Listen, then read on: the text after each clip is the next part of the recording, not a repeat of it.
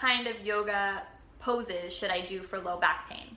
So this is a great question because I also suffer from low back pain. Yoga teachers are not immune to low back pain. It's it's a universal issue and all of us sitting at our desks and in our cars and texting and being hunched over our phone, right? Low back pain is prevalent. So there are videos I have on YouTube specifically about low back pain. There's a video I have with CureJoy actually about yoga for sciatica. So we'll link those up below and you should check them out. But the poses I recommend if you don't have a herniated disc, so if you don't have a herniated or bulging disc, is I really recommend doing forward folds because forward folds are gonna help release the tension that you're feeling in your low back. Think about it. Your vertebra all day are stacked one on top of the other from, you know, your cervical spine all the way down.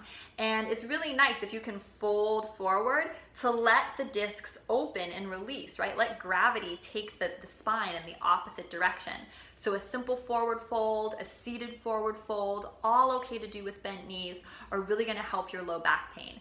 Twists are also really helpful for low back pain and opening up the left and right side of the low back. Twists are super detoxifying. So forward folds and twists are some of the asanas I'd recommend for low back pain. And I'd also add in that it takes time. It takes time for the low back to open up. It takes time for the low back to heal. So also be patient and maybe practice yin yoga, which again focus on long holds to open the fascia as well as, you know, everything else that's going on. Um, yin yoga is great for low back pain. And my last tip about low back pain would be to, you know, in addition to forward folding, consider some kind of inversion therapy. I love using my yoga trapeze um, to hang upside down and literally take my spine in the opposite direction.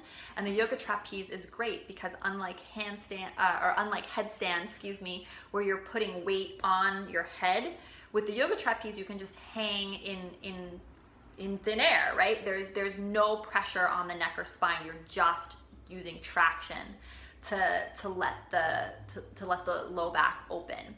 So for me also inversion therapy and hanging upside down without putting any pressure on my joints has been really great for my low back pain.